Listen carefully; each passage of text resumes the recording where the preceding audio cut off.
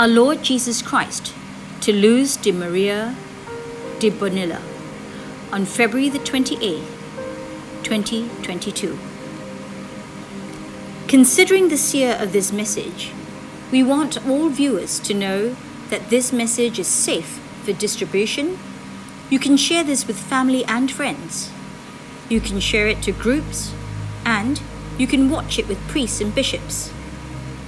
Before we go into the message, please take a moment to like this video and subscribe to this channel. God bless you all.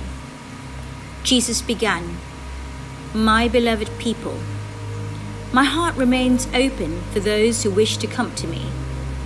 My mercy is infinite. I am waiting for you with my divine love so that you may be new creatures.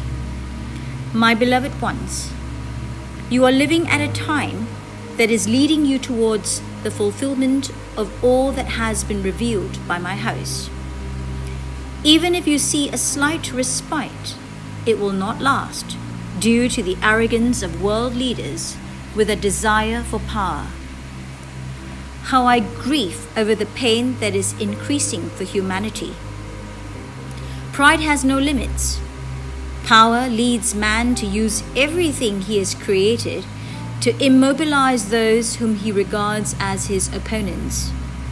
As in liars, they are plotting in order to catch people unawares.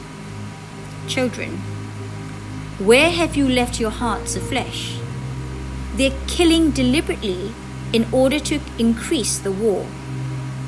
O oh, humanity, how you are drawing upon yourselves, suffering to the point of exhaustion.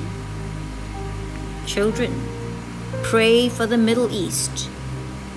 Children, pray for France. Children, pray for Italy.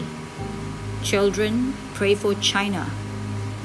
Pray, my children, pray for those who are suffering and moaning at this moment. My people you will experience the horror that comes from those who maintain plans for conquest. How you make my heart suffer. How many tears I shed for humanity. My children, you are gradually entering deeper and deeper into this sad scenario of war, which will grow until it becomes more than purification. You are living, my children, you are living in the insensitivity of those who watch the destruction and lamentation of their fellow men via technological means, as if these were deadly games. You have become so accustomed to fictional death that you are not moved by the anguish of others.